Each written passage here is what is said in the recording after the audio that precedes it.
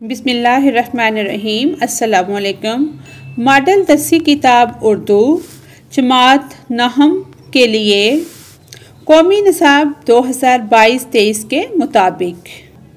National book foundation वफाकी text book board Islamabad. इस video में हम सबक नंबर एक, अखलाक हुसना, सीरत नगारी जो हमने रीड आउट किया था उसकी एक्सरसाइज मुश्किल अल्फाज के मानी और उसकी मुकम्मल मश्क सॉल्व करेंगे। सबसे पहले हम इसके मुश्किल अल्फाज के मानी को देखते हैं। अहलो एयाल बीवी बच्चे बेसत पैगंबर बनाकर भेजे जाने का अमल, पैमाना तहकीक तहकीक का मैार चराग, जेर दामन, वो चराग जिसे हवा से बचाने के लिए दामन की आड़ में, ये बचाने हैं, ये गलत लिखा हुआ है। आड़ में लिया जाए। शेर दस्तों, यानी बेआसरा लोगों, तान करना तनसो मलामत करना, कैसरे रोम रोम का बादशाह। बालातर, ऊपर बुलंद, बेहसन खूबी, बेहतर तरीके जमा मर्दी बहादरी, खून रेसी, कत्लो गारत सर चश्मा, चश्मे का सिरा। अफीफ पारसा मर्द, नेकोकार, मर्द, लवाजम, ज़रूरी चीज़ें या सामान, मकसूद जिसका अरादा किया गया हो, गरज मतलब। कैसर रूम रूम का बादशाह, मर्दार, मुर्दा जानवर, लाश, नस्बत ताल्लुक, वास्ता। इसके बाद है, ये इसके मुसन्फ़ का तारफ़ है, यहाँ से शुरू हो रहा है। ये भी इसके तारफ़ में शामिल है। इस इस बुक पर बहुत अच्छा तारुफ दिया गया है, जो मैं आपको दिखा रही हूँ। यहाँ तक इसका तारुफ है। यहाँ से इसकी मश्क शुरू होती है कि दुरुस्त जवाब को मुंतखब करें। यहाँ से मश्क स्टार्ट हो रही है। हर मज़हब की बुनियाद किस चीज़ पर रखी गई है? अखलाक पर। दुनिया की खुशहाली और अमन का दारोमदार है। अखलाकी तरक्की, यानी कि खुशहाली और अमन का दारोमदार किस पर है? अखलाकी तरक्की पर। आगे तीसरा सवाल है, हज़रत अबू ज़र गफ़ारी रज़ी अल्लाह तहों ने अपने भाई को मक्का मुकरमा भेजा ताकि वो नबी अकरम ख़ातमनबीन सल्लल्लाहु अलैहि वसल्लम की तालीमात को देखे। अगला सवाल है, क़्यामत के रोज़ सबसे वजनी नेकी होगी अखलाक? अगला सवाल है, एक हदीस मुबारक के मुताबिक कामिल मोमन बनने के लिए ज़रूरी है ये इसका दुरुस्त जवाब है, जो अपने लिए पसंद करे वही दूसरों के लिए। अगर सवाल नंबर दो है, सबक के मतन के मुताबिक दर्ज झैल सवाल के जवाब दें। पहला सवाल है, इखलाक का मकसद क्या बयान किया गया है? इसका जवाब है अखलाक से मकसूद बाहम बंदों के हकूक़ फ़रज़ के वो ताल्लुक हैं जिनको अदा करना हर इंसान के लिए मुनासिब बल्कि ज़रूरी है। इंसान जब इस दुनिया में आता है तो इसकी हर शय से थोड़ा बहुत इसका ताल्लुक पैदा हो जाता है। इसी ताल्लुक के फ़र्ज़ को बेहसन खूबी इंजाम देना अखलाक है। इसके अपने माँ बाप अहलोयाल अज़ीज़ रिश्तेदार, दोस्तों, अहबाब सबसे ताल्लुक़ हैं, बल्कि हर इस शख्स के साथ इसका ताल्लुक़ है, जिससे वो महल्ला, वतन, कौमियत जिनसियत या किसी नू का इलाका रखता है, बल्कि इससे आगे बढ़कर हैवानात तक से इसके ताल्लुक़ हैं। और इन ताल्लुक़ के सबब से इस पर कुछ फ़रज़ आयद हैं। अगला सवाल है, हज़रत जाफ़र त्यार रज़ी अल्लाह तहों ने नजाशी के दरबार में क्या तकरीर की? उसके चंद फ़िक्रे ये हैं कि, ए बादशाह, हम लोग एक जाहिल कौम थे, बुतों को पूछते थे, मरदार खाते थे, बदकारियाँ करते थे हमसायों को सताते थे। भाई भाई पर जुल्म करता था, ज़बरदस्त जेर दस्तों को खा जाते थे। इसी असना में एक शख्स हम में पैदा हुआ। इसने हमको सिखाया कि हम पत्थरों को पूजना छोड़ दें, सच बोलें खून रेजी से बाज आएँ यतीमों का माल ना खाएँ हमसायों को आराम दें, अफीफ औरतों पर बदनामी का दाग ना लगाएँ। अगला सवाल है, अबू सफ़ियान ने कैसर रूम के दरबार में किस चीज़ का एतराफ़ किया? कैसर रोम के दरबार में अबू सफ़ियान ने, जो अभी तक काफिर थे, आ हज़रत ख़ातमनबीन अलैहि वसल्लम की असलाही दावत का जो मुख्तर खाका खींचा, इसमें यह तस्लीम किया कि वो खुदा की तोहद और इबादत के साथ लोगों को ये सिखाते हैं कि वो पाक दामनी इख्तियार करें, सच बोलें, कराबत का हक अदा करें। अगला सवाल है, अल्लाह ताला को अपने बंदों में सबसे प्यारा कौन है? अल्लाह ताला के बंदों में अल्लाह का सबसे प्यारा वो है जिसके अखलाक सबसे अच्छे हों। अगला सवाल है, हज़रत अबू ज़र रज़ी अल्लाह तहों के भाई ने आपको नबी अकरम ख़ातमनबीन सल्लल्लाहु अलैहि वसल्लम के बारे में क्या बताया? इसका जवाब है, आप ख़ातमनबीन सल्लल्लाहु अलैहि वसल्लम मक्का ही में थे कि अबू ज़र रज़ी अल्लाह तहो ने अपने भाई को इस नए पैगंबर के हालात व तालीमत की तहकीक के लिए मक्का भेजा। उन्होंने वापस आकर इसकी नस्बत अपने भाई को जिन अल्फाज में इतला दी, वो ये थे, तर्जमा, मैंने इसको देखा कि वो लोगों को अखलाक हसना की तालीम देता है। नबी अकरम ख़ातमनबीन सल्लल्लाहु अलैहि वसल्लम ने अपनी बेसत मबूस होने का, दुनिया में आने का क्या मकसद बयान फरमाया? आप ख़ातमनबीन सल्लल्लाहु अलैहि वसल्लम की बेसत तकमीली हैसियत रखती है। नबी करीम ख़ातमनबीन सल्लल्लाहु अलैहि वसल्लम की बेसत का मकसद हुसन अखलाक है। आप सल्लल्लाहु अलैहि वसल्लम ने ख़ुद अरशाद फरमाया, तर्जमा, मैं हुसन अखलाक की तकमील के लिए भेजा गया हूँ। अगला सवाल है बेहसीत मजमू सैद सलमान नदवी का असलूब बयान कैसा है? अलामा सैयद सुलेमान नदवी, उस्ताद शिबली नमानी के शागिर्द थे। उन्होंने सिरत सवाल मज़हब, जबान अदब के मसाइल पर तहकीकी काम किया और माहनामा मुआरफ जारी किया। इसके ज़रिए दीन अदब की ठोस खिदमत की नदवी नदवी साहब एक बुलंद बुलंद पाया आलम, मोरख मुसनफ़ और मुदब्बर थे। उन्होंने सिरतुलनबी ख़ातमनबीन वसाब वसल्लम की तकमील की और अशात का फ़र्ज़ अदा किया। अगला सवाल है, एक तालब इलम ऊँची आवाज़ में इस इकतबास को पढ़ेगा? वो इकतबास ये है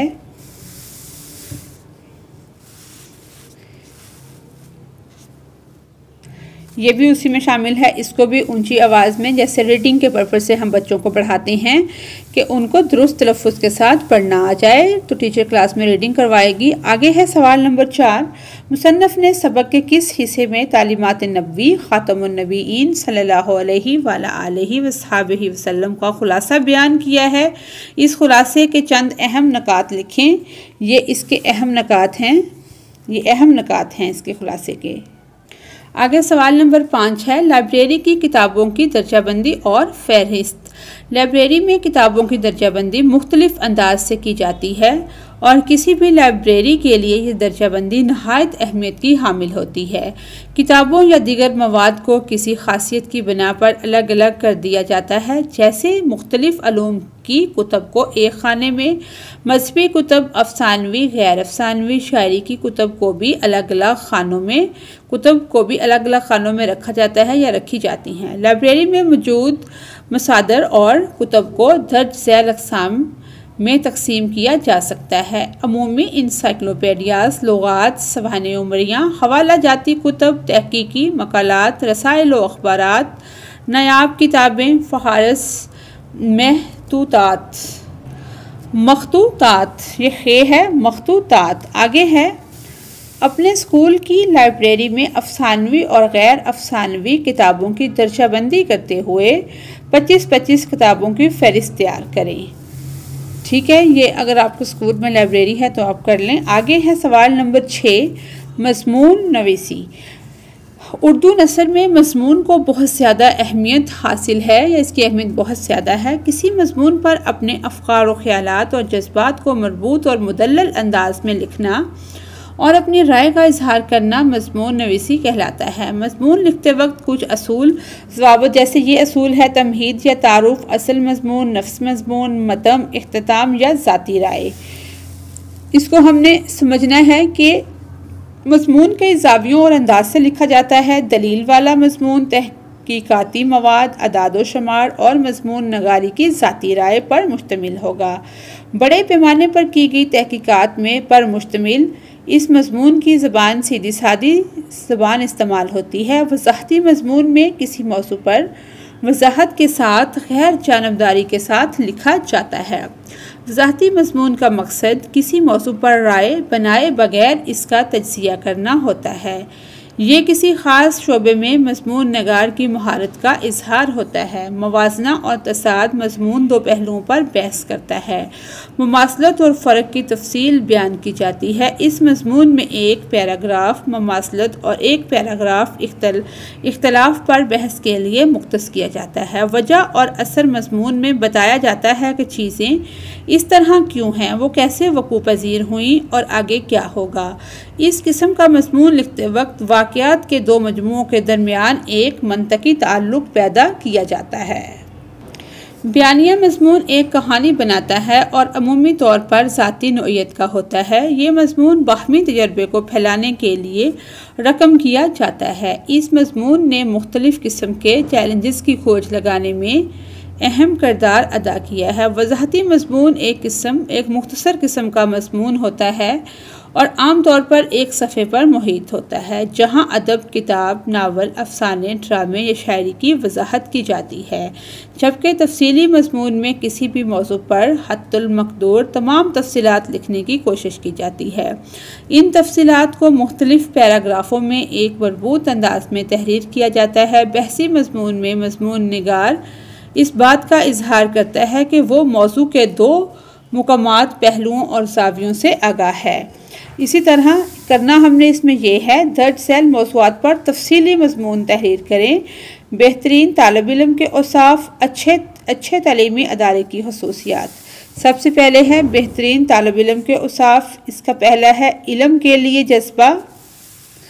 आगे है मुनज़म व मनसूबाबंदी आगे है ज़िम्मेदारी ओ इंसबात ज़िम्मेदारी ओ इंजबात फिर हेडिंग है, तनकीदी सोच, मवासलाती महारत, ताउन और टीम वर्क लचक और सब्र, ये हेडिंग जो हैं, इसमें आप अपने से भी कुछ हेडिंग ऐड कर सकते हैं।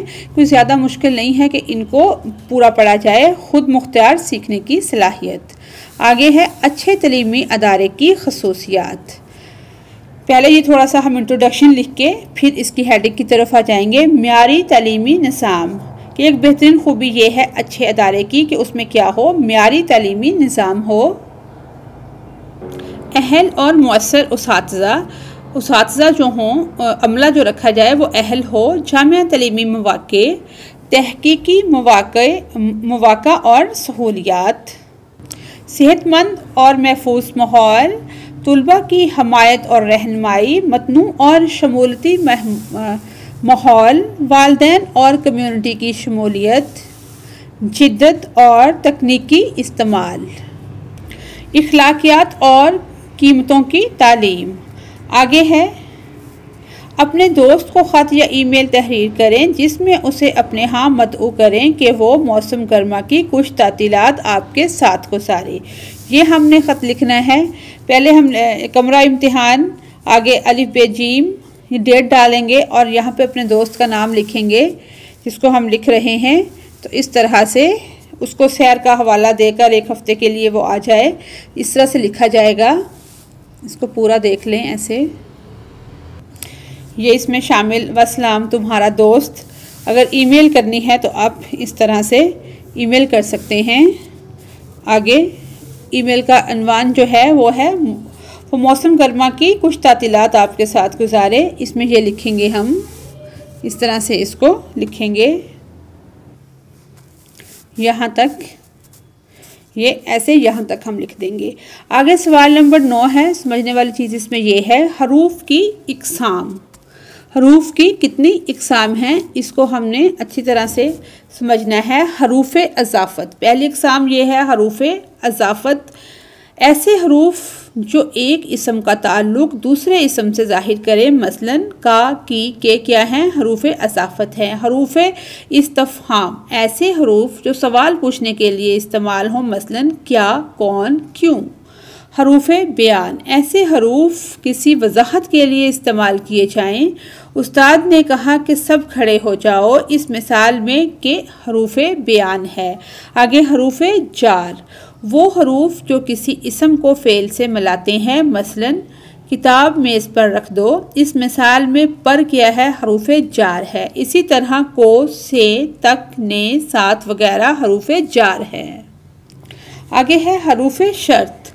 वो हरूफ जो किसी शर्त के लिए इस्तेमाल हो, मसलन, अगर मेहनत करोगे तो कामयाबी मिलेगी। अगर, अगरचा, जब जब तक, ता वक्त ये के, जू ही हरूफ शर्त है। आगे है दर्ज सेल, हरूफ की निशानदही करें। ये वाले हरूफ दिए गए हैं। की, के, को क्या है? हरूफ असाफत। अगर जब तक ये क्या है हरूफ शर्त। कहाँ? हरूफ इस्तफ़ाम के? हरूफ बयान। पर हरूफ जार। आगे सवाल नंबर 11 है। मफहम को बरकरार रखते हुए मुतफरक तरीक़ों से अबारत या जुमलों में तब्दीली करके मसीद आगे बढ़ाने के लिए दर्ज सैल दो अबारत पढ़ें, जिनका मफहम एक ही है। अबारत नंबर एक है, एक आदमी ने पहाड़ी से गिरते हुए दरख्त की एक शाख मजबूती से थाम ली और मौत के खौफ से ना छोड़ी, लेकिन सख्त मायूसी के आलम में शाख हाथ से छूट गई। खुशकिस्मती से नीचे पानी की एक नदी थी, जिसमें गिरने से उसे बहुत मामूली चोटें आईं। आगे अबारत नंबर दो है। एक शख्स रात की तारीखी में जंगल में एक पहाड़ी रास्ते पर सफ़र कर रहा था। अचानक पाँव फिसलने से वो बुलंदी से गिर पड़ा। गिरते गिरते उसने एक दरख्त की शाख पकड़ ली। वो शाख को काफ़ी देर तक थामे लटका रहा कि अगर शाख छूट गई तो नीचे गिर कर मर जाऊँगा। आखिर जब कोई चारा नज़र न आया तो इंतहाई मायूसी के आलम में शाख छोड़ दी। खुशबख्ती की बात यह रही कि इस दरख्त के नीचे साफ़ शफाफ पानी की एक नदी बह रही थी। वो आदमी इसमें जा गिरा। गिरने के बायस उसे कोई बड़ी चोट ना आई और वह बच गया। ये हमारे एस्लो बेस्ड नोट्स थे, जो कि हमने इसकी रीडिंग के साथ, जब हमने इसकी पढ़ाई की है तो उसमें हमने इनको शामिल कर दिया है। ये वहाँ से आप देख सकते हैं। आज की वीडियो हमारी यहीं तक थी। इसी के साथ ही हमारी आज की वीडियो मुकम्मल होती है। अगर आपको मेरी वीडियो से कोई रहनमाई मिल रही है तो मेरी वीडियो को लाइक और चैनल को सब्सक्राइब करें। Thanks for watching us